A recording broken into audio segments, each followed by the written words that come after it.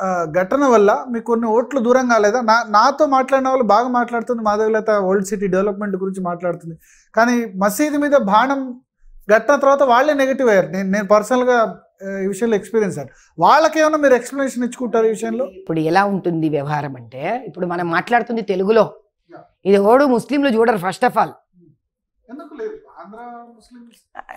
ఆంధ్ర ముస్లింలు ఫస్ట్ ఈ ధోరణి ఆలోచించరులేండి. మనం ఊరికి మనం నిజా నిజాలు మాట్లాడుకుందాం. ఇది తెలుగు ఛానల్ అయినా కూడా మీ ఉద్దేశంలో తెలుగు నేర్చేసుకున్న ముస్లింలు వింటుంటే కనుక వాళ్ళ కూడా మాట చెప్తా. ఈ వ్యక్తి ఎవరు? ఈ అసదుద్దీన్. మరి మొన్నటి దాకా హిందూ దేవుళ్ళని ఇష్టం వచ్చినట్టు నానా చీవాట్లు తిట్టాడు. అది మనందరికీ తెలిసిందేనా? ఎందుకంటే ఇతను బతుకమ్మ బతుకమ్మ అని అన్నాడు ఎవడండి? ఎవడన్నాడు? ఈ వ్యక్తి అన్నాడు. ఏ బతుకమ్మ నువ్వు అంటావా? నువ్వెంత నీ ధైర్యం ఎంత? ఏ రజాకారుల వల్లైతే స్త్రీలను నగ్నంగా చేసి హింసపెట్టి పాడు చేశారో ఆ బతుకమ్మ పూజని చేసిన నువ్వు హేళన చేస్తావా? నేను ఒక్కసారి కూడా ఒక్క ముస్లిం దేవుణ్ణి హేళన చేయలేను నేను. నేను నేను దర్గాకు కూడా వెళ్ళాను. దమ్ముంటే రాను మా దేవాలయాలకి. తల వంచు దేవుడు ముందు. నేను ఏ దేవుడి ముందైనా తల వంచుతాను. ఎందుకు?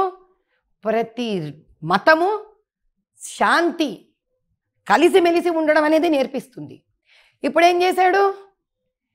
ఈరోజు హిందూ ముస్లిమ్స్ ఒకటే కలిసి ఉండాలి అని మాట్లాడుతున్నాడు. ఆ శాంతిని మీరు జరగొడుతున్నారు అంటారు హిందూ ముస్లింల మధ్య శాంతిని మాధవీలత బీజేపీ జరగొడుతుంది సిటీలో అంటారు. ఇన్నేళ్ళు హిందూ దేవుళ్ళ గురించి రెచ్చగొట్టి మాట్లాడినప్పుడు ఏ శాంతి పట్టుకొచ్చాడు ఈ వ్యక్తి? పదిహేను నిమిషాలు చిటికలు వేశాడే. అప్పుడు శాంతి మాటలు అవి? పదిహేను నిమిషాలు చిటికలు వేసి పోలీస్కో బాజు టర్నే కే లియే బోలో హమ్ దిఖాయింగ్ హమ్ అన్నవి శాంతి మాటలా? ఆ మాత్రం ముస్లింలు తెలుసుకోలేరు దీన్ని? వాళ్ళు తెలుసుకోవాల్సింది ఏంటి అని అంటే అసదుద్దీన్ ఈరోజు మాట్లాడే మాటలలో మార్పు వచ్చింది. హిందువులను రెచ్చగొట్టి వాళ్ళ దేవుళ్ళ మీద వాళ్ళని తిడుతూ ముస్లింలకు అది ఒక గొప్పతనం కింద చూపించుకున్నవాడు శాంతి పట్టుకొస్తున్నాడు అది హిందూ ముస్లింల మీద. వాళ్ళిద్దరి మధ్యలో శాంతి తెచ్చేవాడు ఇలాంటి మాటలు మాట్లాడతాడా? ఇదివరకు ఆ మాటలు మాట్లాడి. ఇప్పుడు నేను డైరెక్ట్ అటాక్ ఇచ్చాను కదా. నేను మదార్సాలతో కూడా పనిచేస్తాను కదా. నేను పస్మంద ఆడవాళ్ళతో కూడా పనిచేస్తాను కదా.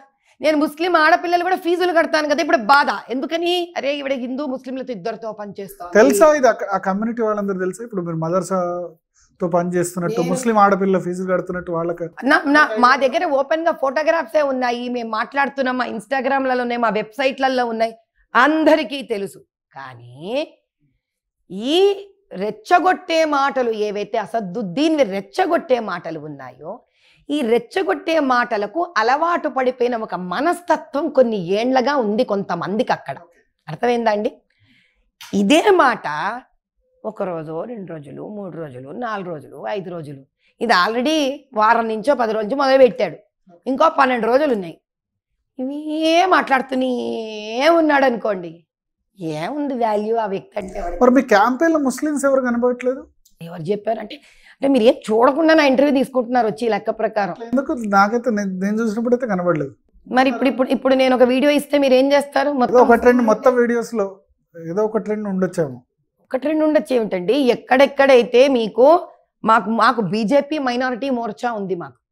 ఫస్ట్ ఆఫ్ ఆల్ మనందరం తెలుసుకోవాల్సింది ఏంటంటే it is only BJP party which has Muslim minority more wing ఉంది మాకు. మా ముస్లిం మైనారిటీ అన్నదమ్ములందరూ మాతో కలిసి పనిచేస్తున్నారు. మీకు ఇంకో విషయం కూడా తెలియాల్సింది ఉంది. ఏ ఆర్ఎస్ఎస్ని అయితే ఇష్టం వచ్చినట్టు అవాకులు చవాకులు పేలి మాట్లాడుతున్నాడో అందులో ముస్లిం రాష్ట్రీయ మంచి ఉంది. ఈయన దగ్గర ఉందా? అట్లా హిందూ రాష్ట్రీయ మంచి అన్న పేరుతో హిందువులది ఉందా ఒకటి? ఆర్ఎస్ఎస్ఎస్ గురించి మాట్లాడే యోగ్యత సభ్యత సంస్కారం ఉందా ఈ వ్యక్తికి? RSS is the great institution which binds people వాళ్ళు ముస్లిం రాష్ట్రీయ మంచ్ అని ఎందుకు పెట్టారు? ఈ వ్యక్తి వల్ల అన్యాయం అయిపోయిన ముస్లిమ్స్ ఉన్నారు. ఈ వ్యక్తి వల్ల ఎంతోమంది దేశభక్తులైన ముస్లిమ్స్ బయటికి రాకుండా తేలకుండా ఉన్నారు. ఇతను చెప్పే వాళ్ళు ముస్లింలు అసలు కాదు. అసలు ముస్లిం షోయబుల్లా. యాక్టివ్ ఉందా. ముస్లిం రాష్ట్రీయం నుంచి ఇంద్రేష్ కుమార్ నేతృత్వంలో దేశంలో నడుస్తుంది. రాష్ట్రంలో యాక్టివ్ ఉందా? బ్రహ్మాండంగా యాక్టివ్గా ఉంది. ఎందుకు లేదు? వాళ్ళు పెద్ద పెద్ద పోస్టులలో ఉన్నారు. వైస్ ఛాన్సలర్స్ అయ్యారు వాళ్ళు.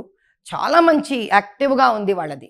వాళ్ళు ఇప్పటికే ఓల్డ్ సిటీలో చాలా చోట్ల చేస్తున్నారు. వీళ్ళు ఏఎంఐఎంతో ఎన్నో దెబ్బలు తిన్నారు వీళ్ళు. ప్రధానమంత్రి ఇటీవల చేసిన కామెంట్స్ రాజస్థాన్లో చేసిన కామెంట్స్ వైరల్ అవుతున్నాయి. మీ సొమ్ములు తీసేసుకొని ముస్లింలకు పంచి పెడతారు. అని ఆయన ఏదైతే కామెంట్ మళ్ళీ కాంగ్రెస్ చేసినది ఏంటి? వ్యవహారం ఇక్కడ? ఏమిచ్చింది మేనిఫెస్టోలో వీళ్ళ నీకు నీకు నేను మొత్తం అంతా ఆస్తులు తీసి మైనారిటీకి ఇస్తా. మరి ఆస్తులందరివి ఎవడి ఆస్తులు ఎవడబ్బా ఆస్తులు తీసుకొని మైనారిటీకి ఇస్తా? మైనారిటీలకు రా- ఇప్పుడు రాజీ రాహుల్ గాంధీ స్పీచ్ వాళ్ళ స్పీచ్లలో వాళ్ళు ఏమన్నారు? మేము ఎవరు ఏం చేసినా కూడా ఎవడెంత సంపాదించినా కూడా ఆ మిగతా ఆస్తుల వ్యవహారాలంతా మొత్తం మైనారిటీలకు ఇస్తాము అన్నారు ఎవడబ్బా సొమ్ము? ముందు అట్లా మైనారిటీకి ఇవ్వాలంటే తీ నీ ఆస్తి బయటికి తీను ముందు. ముందు నీ ఆస్తి రాసి వాళ్ళకి. ముందు నీ ఆస్తి రాసివయ్యా. బోఫోర్స్లో మీరందరు తిన్న ఆస్తులు. మీరు కూడా మరి ఏం వ్యాపారస్తులు కాదే? జవహర్లాల్ నెహ్రూ వాళ్ళ నాన్నగారు సంపాదించిందే. ఆ తర్వాత మీరు ఎవరెవరు ఏం సంపాదించారు? ఎందుకు వస్తున్నాయి మీ దగ్గర ఇంత వేల కోట్లు? మరి ఈ డబ్బులు ముందు మీరు మైనారిటీకి రాసివ్వండి మీ ఆస్తులంతా. ఇవి రాసివ్వకుండా మీరు మిగతా దేశ ప్రజలు అందరూ తీసుకెళ్తారంటే అవును మరి ఇంకా ఆస్తులు తీసుకెళ్తుంటే అన్ని దోచుకుంటారు. ఆస్తుల విషయానికి వస్తే అసౌద్దీన్ ఆస్తులు కేవలం ఇరవై మూడు కోట్లు మాధవీలత ఆస్తులు మాత్రం రెండు వందల పది కోట్లు. టెన్ టైమ్స్ ఎక్కువ ఉన్నారు మీరు. మళ్ళీ నేను ఇదే చెప్తాను. మీరు జర్నలిస్ట్ ఎలా అయ్యారో నాకు తెలీదు. Did you check my entire affidavit did you check my affidavit yeah చెప్పండి. నేను చెప్పనండి. స్టేట్మెంట్ మీది స్టేట్మెంట్ మీది. You know you have to recheck my affidavit no no ఇది జర్నలిస్ట్ల హక్కు కాదు. ఏది పడితే ప్రశ్న వేయడానికి. మీరు నేను ఇవ్వను. You have to come up with correct question how can you come with wrong question మీరు అఫిడవిట్ని రీచెక్ చేసి ఈ ప్రశ్న వేసినాడే నేను మీకు ఆన్సర్ ఇస్తాను because it is my self respect question recheck my affidavit me family ఆస్తులు రెండు వందల పది కోట్లు కదా. ఎక్కడికి వచ్చారు ఇప్పుడు? అదే కదా నేను చెప్తాను మీరు అసదుద్దీన్ పర్సనల్ అమౌంట్ ఇస్తున్నారు. నాది ఫ్యామిలీ అమౌంట్ ఇస్తున్నారు. న్యాయం ఎట్లయింది? న్యాయం ఎలా అయ్యింది? ఇచ్చిన ఏ క్యాండిడేట్ అయినా కుటుంబ సభ్యుల ఆస్తుల్ని మొత్తం డిక్లేర్ చేయాలి. కరెక్ట్. మీరు మీరు ఒక్క నిమిషం. కుటుంబ సభ్యుల ఆస్తులు మీ ఆస్తులు కాదంటే నేనేం చేయలేను. నేనేం చేయలేను. ఎలా అవుతుంది?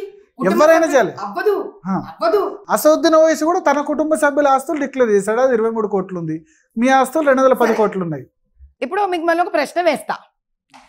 నా పర్సనల్ ఆస్తి అందులో యాభై కోట్ల చిల్లర చూపించాం. అసదుద్దీన్ దగ్గర కేవలం ఇరవై ఐదు కోట్లు చూపిస్తున్నాడు. అసలు అసదుద్దీన్కి ఏడెకరాల భూమిలో ఇల్లు అంత పెద్ద మహలు ఏంటి? అది మాత్రం కూడా మీకు ఖర్చుకు రాదా చెప్పండి అది చెప్పండి కానీ ఇప్పుడు అలా కాదండి. మీరు Asaduddin only one one are taking one quote of Asaduddin. You have to put my personal thing into it మాకు వైవోబయ ఉంది కంపెనీ మాకు విరించి ఉంది కంపెనీ మాకు గ్రూప్ ఆఫ్ హాస్పిటల్స్ ఉన్నాయి. మాకు ఫిన్కాప్ ఉంది. మేము ఇరవై ఐదేళ్ళగా ముప్పై ఏళ్ళగా ఇన్ని ఇండస్ట్రీస్ ఇన్ని పెట్టుకున్న తర్వాత కూడా మా దగ్గర ఇది ఆస్తి. ఈయన వకాలత్ చేయలే. ఈయనకు బిజినెస్ లేవు డేవన్ నుంచి. సోర్స్ ఆఫ్ ఇన్కమ్ ఏదీ లేదు. ఏ సోర్స్ ఆఫ్ ఇన్కము లేకుండా వకాలత్తు చెయ్యకుండా. పోనీ ఇరవై ఐదు కోట్లే నిజం అనుకుందాం. Because that is what he gave so ఆయన ఇచ్చింది తప్పు ఆస్తులు అంట అనట్లేదు నేను. అది కూడా అనట్లా. ఆయన ఇరవై ఐదు ఇచ్చింది నిజం అనుకుందాం ఎందుకంటే ఎలక్షన్ కమిషన్ ఆఫ్ ఇండియాకి ఆయన సబ్మిట్ చేసుకున్నాడు కదా.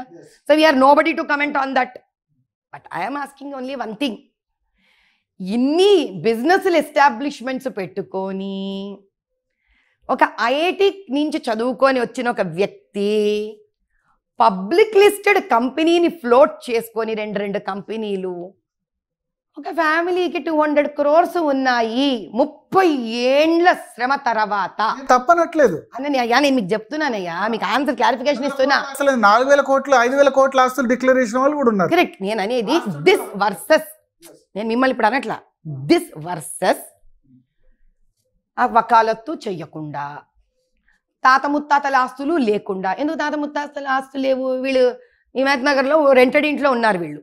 అది ప్రపంచం అంతా తెలిసిందే. బట్ తండ్రి ఎంపీ ఐదారు సార్లు.